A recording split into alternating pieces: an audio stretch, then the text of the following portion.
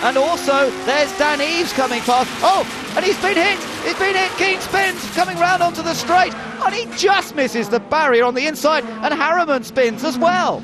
Justin Keen very lucky not to hit the barriers in what could have been a huge accident.